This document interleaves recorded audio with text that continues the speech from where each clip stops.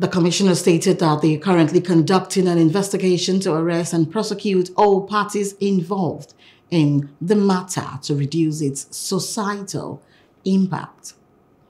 And over three women from the Obodoukwu community in Imo State have been charged with invading and brutalizing work at Bolingo Hotel. They were sponsored by Emeka Obi, who leased the hotel for over 20 years to Tochukwu Ihionu. The complainant, Tochukwu Ihionu, claims the accusation was wrong and has requested alternative dispute resolution. Hello, hope you enjoyed the news. Please do subscribe to our YouTube channel and don't forget to hit the notification button so you get notified about fresh news updates.